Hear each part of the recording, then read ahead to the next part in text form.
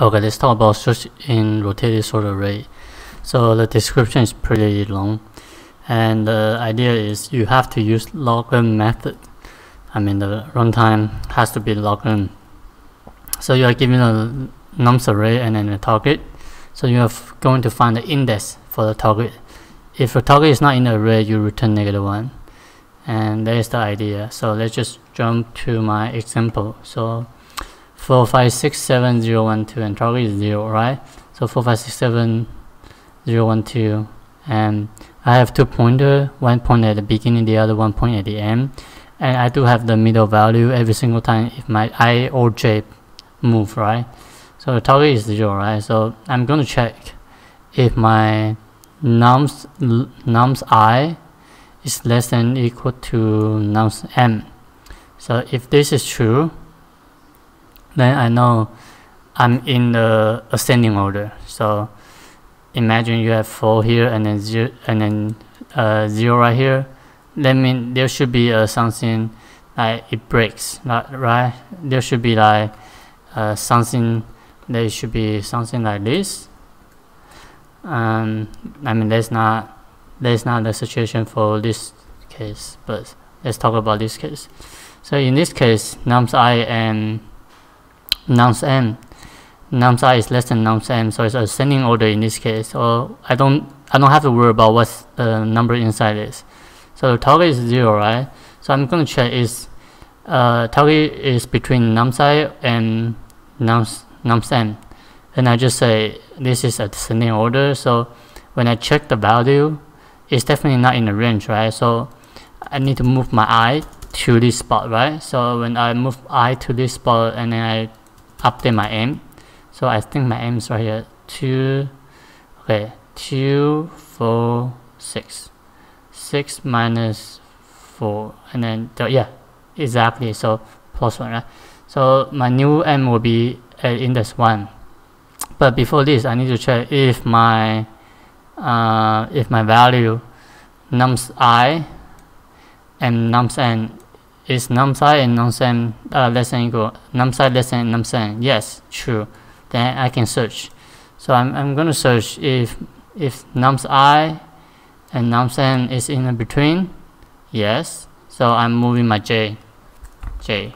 So j to m minus 1 so in this situation I don't put the value as at m spot because when I check my m the m index I will just return the value because I just found it right? So I, I don't need to like put my i or j at this spot.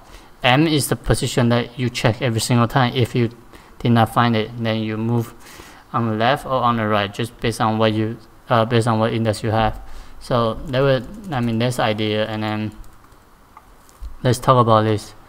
So uh, for this case 4567012 is and target is 3 right? So I'm going to check is my nums i less than equal to nums nums m true so I'm going to say is the target is between the nums i and nums m? No right? So is the target is between nums m and nums j? True uh yes. Why? Like like there is a value right? There should be a value in between here right? So I'm moving my moving my i to here right? So I'm to update it right? And then I'm going to check again. Oh it's between num uh, i and m no. J or m no right? So I'm still moving my j uh, moving my i sorry.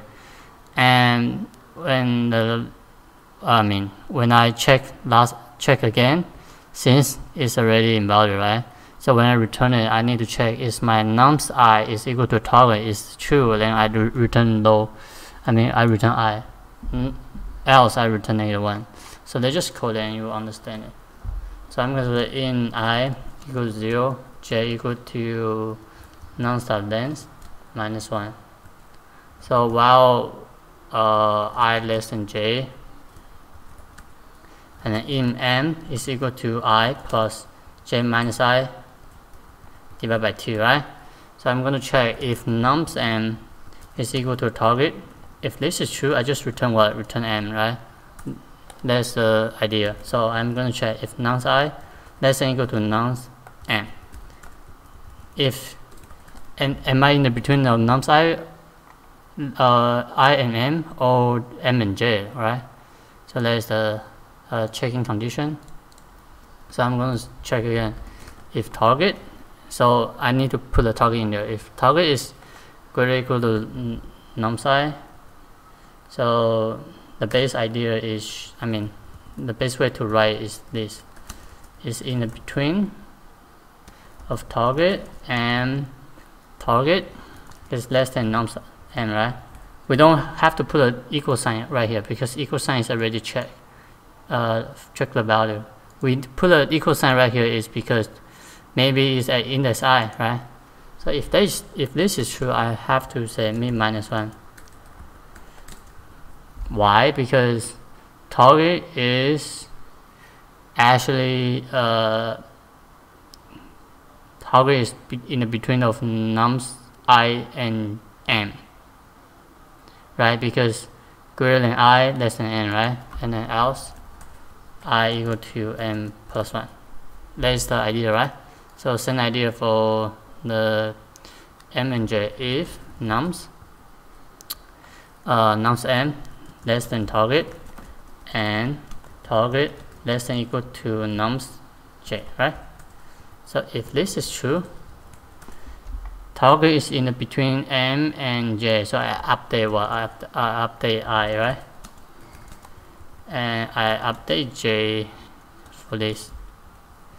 Now uh, at the end, I need to see if my nums i equal to the target if this is true, I just return i, else I return negative 1, right? Okay, let's uh, check about the error. Do I have it? No, okay, pretty good. Alright, I mean, you, you need to know the condition, right? You, you need to know condition. So, um, the condition are based on this, right? And then time and space, you're not using any space. And then time is definitely log n. And it's hard, definitely. And then uh, try by your own. Alright, peace.